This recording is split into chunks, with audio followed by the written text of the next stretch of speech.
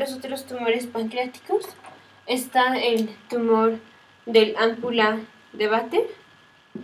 Específicamente, la presentación de este tumor lo vamos a ver en ictericia obstructiva quirúrgica, eh, cómo abordarla.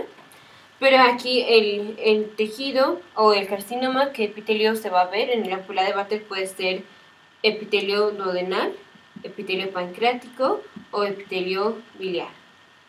Otro tumor va a ser los tumores o las neoplasias serosas.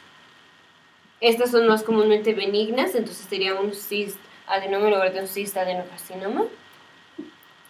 Y como es benigno, generalmente no pasa nada y se encuentra como un, eh, un hallazgo incidental. Se asocia con mutaciones en el gen BHL. Y el otro son las mutaciones en el gen GNAS que lleva a neoplasias mucinosas.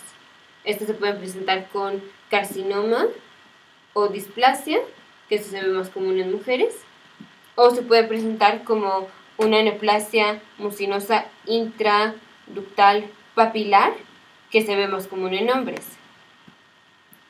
Y ocurre generalmente en la cabeza del páncreas. Adicionalmente, en los tumores mucinosos puede ser que se desarrolle un cáncer o un carcinoma de la neoplasia.